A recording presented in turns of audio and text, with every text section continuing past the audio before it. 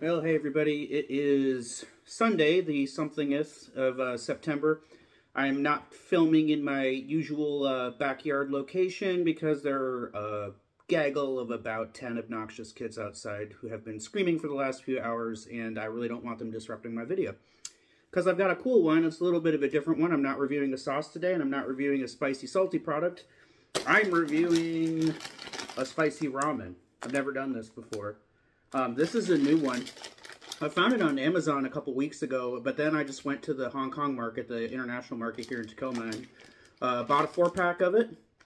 I have prepared the bowl according to the directions. I'm afraid, though, it's more liquidy than as portrayed in that photo. So, you know, I thought that I, uh, I thought that I had preserved um, eight tablespoons of water to mix the uh, spicy liquid into, but whatever. It kind of looks like a kind of looks like a sort of a thickish thickish soup broth.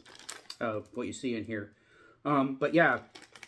Uh, so the gimmick here is well, it says not just spicy, and then the gimmick here that I, I kind of was like, I think this is kind of cool. Um, it says the amount of sauce controls the spiciness. So they tell you, you know, different, uh, you know, different percentages of the sauce packet will yield uh, different degrees of spiciness, which, you know, makes sense and is true. It's probably true of any spicy ramen, but it's just cool that this particular company decided to point it out. All right.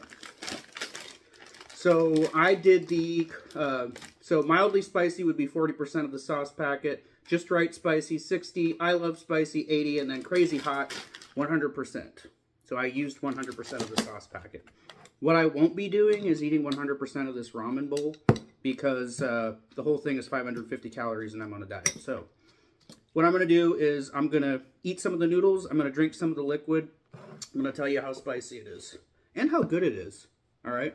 Because some spicy ramens are just, just taste like heat. And other spicy ramens taste absolutely delicious. And they, they sort of coax you into eating the entire ramen bowl and then your mouth is on fire. Because these uh, spicy ramens, um, they tend to have a slow building heat. So let's go ahead and try it.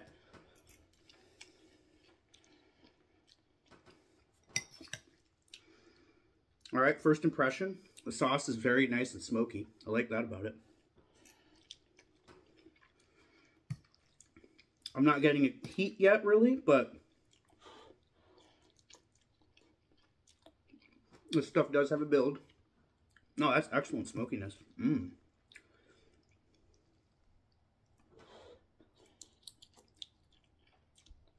And actually, what appears to have happened in the last five minutes is um, that the noodles have absorbed a lot of liquid. So when I first made it, I thought it looked kind of, the sauce looked kind of soupy, but um, the noodles seem to have absorbed it, which is cool.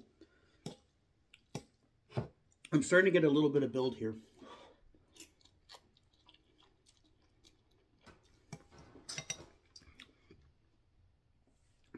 For sure it's hot. Not the spiciest ramen I've ever had.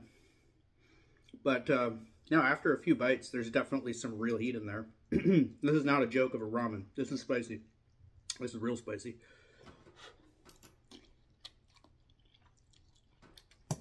It's spicy. And it's very flavorful. Very smoky and umami. I really like whatever's in that. Let's take a look at the ingredients. We'll take a look at the ingredients and we'll let the uh, spice build a little bit.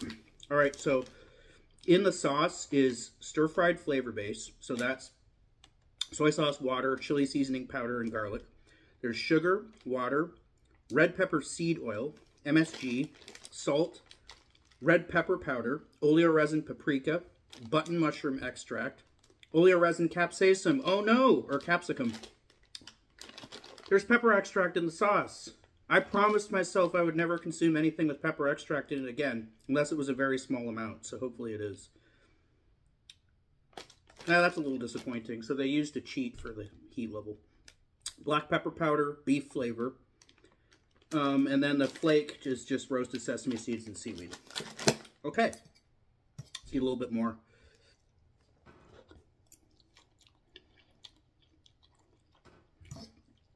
It's not painfully spicy, but uh, um, that's a, it's a good heat level. I mean,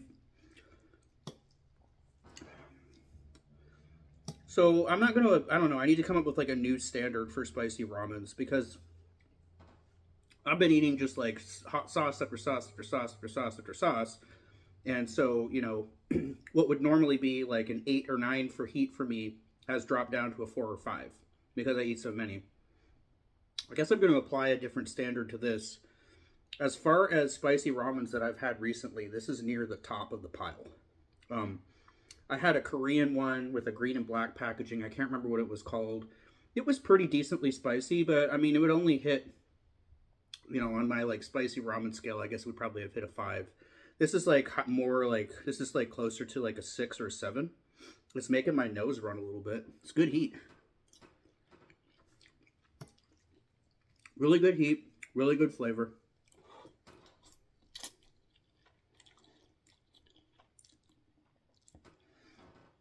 Now I think at this point, I've eaten about half the bowl. It's probably built up to the the peak of uh, heat intensity that it's going to. I've given it a few minutes. Um, that is a very good spicy ramen. It's not overwhelmingly spicy though. Like, a spicy food novice could handle this. They'd probably be freaking out a little bit, but a spicy food novice could handle this. It won't, it's not like, I can feel that, I can feel that oleo resin capsicum burning my lips. That often does it when, um, when they put that in, um, in a ramen sauce, um, it'll burn your lips. That's what I feel there. I don't think there's that much oleo resin capsicum in it though. It would be a lot hotter if there were. There's just probably just a little bit in it, probably a very small amount. Um, but yeah, the heat the heat level is manageable. Like I could probably eat this entire bowl and I wouldn't experience anything more than I am now.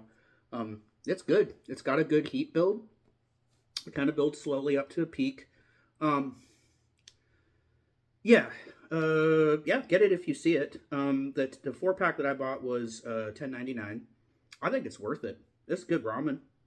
Um, my son's a real aficionado of spicy ramen. I'm curious to see what he thinks of it he's eating some pretty freaking spicy uh, ramen stuff. And I have, I'm going to pause this and I'll just go and show this before I close out the video. I have a uh, particularly spicy uh, chicken ramen sauce that I put into all of his ramens. He likes them like mouth burning hot. So let me go get that. Yeah, this um, 2X spicy uh, Buldak uh, hot sauce, artificial spicy chicken flavor. This is the stuff. Tastes delicious and adds real serious heat to uh, ramen bowls. And what he'll do is he'll take a super spicy ramen and then he'll be like, Dad, when you make it, can you just add like even more of this? He likes his ramen super hot. This isn't at an extreme level, but it, it is good heat and it's very tasty. So yeah, I highly recommend it if you see it. Okay, well that's it for today. Got a bunch more uploads coming uh, soon. Um, but yeah, that's it for now.